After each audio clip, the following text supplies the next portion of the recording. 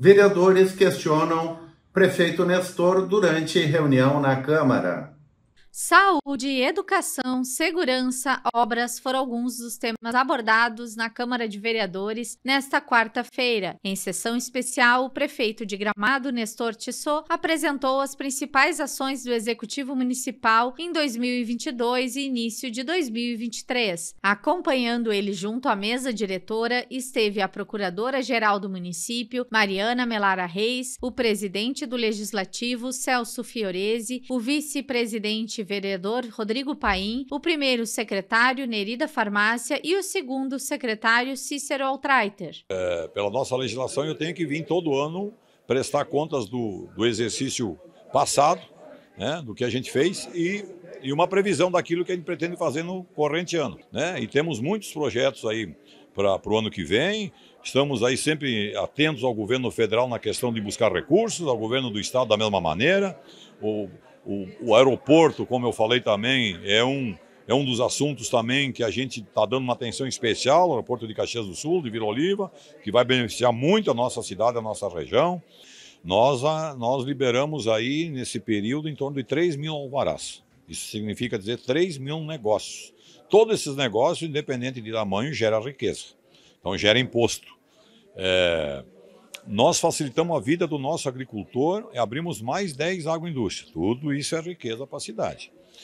A credibilidade do nosso governo tem que se dizer que também é um fator positivo. O investidor ele sente segurança no nosso governo, ele sente segurança que a cidade está evoluindo, está crescendo, que nós temos a linha do empreendedorismo, né, de, de facilitar os negócios. Então os investimentos eles se aceleram e se multiplicam. O presidente da Câmara, Celso Fiorese, encerrou o encontro e avaliou como positivo, sendo um importante espaço de prestação de contas à comunidade. Muito importante para a nossa comunidade também ficar sabendo de tudo aquilo que é feito na nossa cidade e também, claro, deixar em aberto alguns uh, questionamentos também dos colegas vereadores. Então, é, é super importante. Isso, com certeza, valoriza a democracia. Isso é muito bom e, com certeza, mais é, momentos como este é bem importante para a nossa comunidade ficar bem, bem informada daquilo que está acontecendo né, nessa cidade que cresce, é, muitos projetos, muita, muito investimento. Então,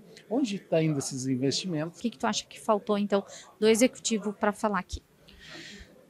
Uh, Laura, na verdade, tem muitos pontos que o prefeito apresentou e, claro, tem muitas, muitos pontos que às vezes ficam de fora porque não há tempo para para apresentar tudo, né? Mas dizer que tudo aquilo que foi apresentado muito positivo, muito bom, e, e queremos uh, cumprimentar o prefeito e toda a sua equipe pelo pelo belo trabalho, né, que é feito na cidade.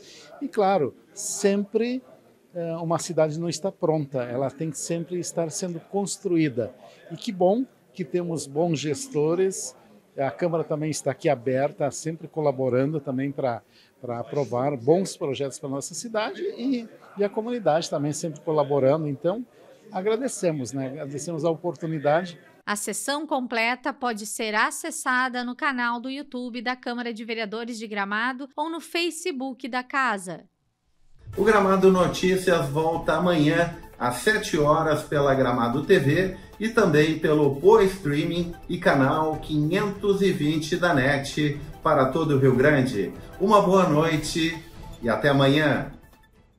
Gramado Notícias, oferecimento Sicredi, onde o dinheiro rende um mundo melhor.